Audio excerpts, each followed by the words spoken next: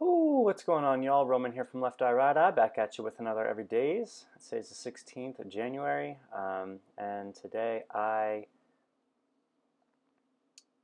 was scratching my, um, like a tag on my scarf, and I uh, scratched it at 110 BPM uh, to the click, found a good section that I liked, uh, cleaned up the audio,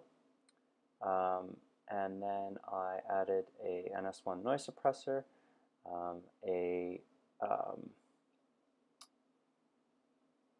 uh, I normalized it, and then added a transient master and a, a little bit of reverb, and uh, and that's all. So you'll hear it in a minute or a second, and I will talk to you tomorrow. God bless.